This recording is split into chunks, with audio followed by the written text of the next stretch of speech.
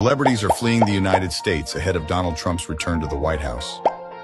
Numerous stars have swapped the U.S. for the UK in recent months over fears for the political landscape, abortion rights, and violence. Johnny Depp packed up for the UK in search of a quiet life. He really feels London is a home. Ryan Gosling and Eva Mendes have quit the U.S. for the benefit of their children, while others including Hugh Jackman and Renee Zellweger are reportedly weighing up a relocation. Jackman recently headed to London to film his new movie, Three Bags Full, a sheep detective movie. But according to New Idea, the Hollywood legend may make the move permanent. British star Sophie Turner told Harper's Bazaar last month that she realized she had to get the out of America due to gun violence and the overturning of Roe v. Wade.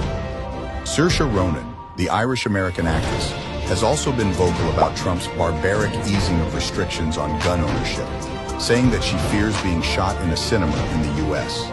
In 2022, Ozzy Osbourne announced plans to move back to the UK with his wife Sharon because he didn't want to die in crazy America. What are your thoughts? We've achieved the most incredible political thing. Look what happened. Is this crazy?